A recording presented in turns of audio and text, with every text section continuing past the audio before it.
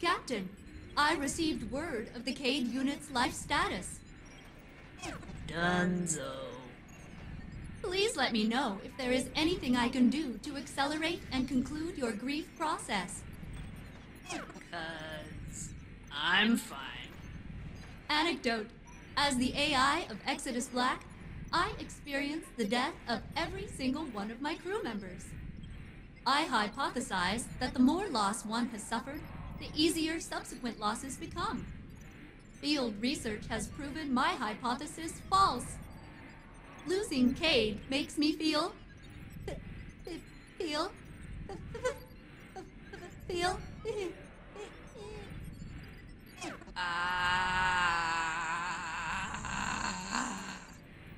I feel terrible.